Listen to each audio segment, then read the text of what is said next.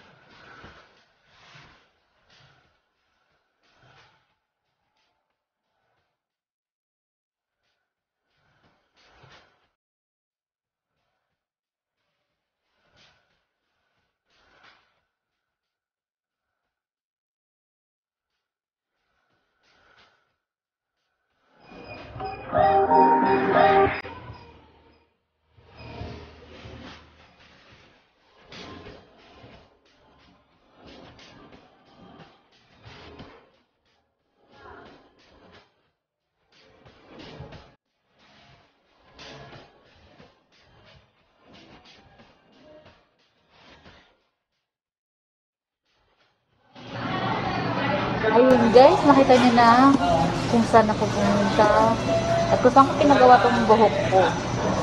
At thank you sa lahat ng mga nanood at kahit pa paano binigyan ko kayo ng tips at idea kung saan eh, gustong pumunta para kahit pa paano eh, maging pretty pretty naman tayo mga guys, di ba?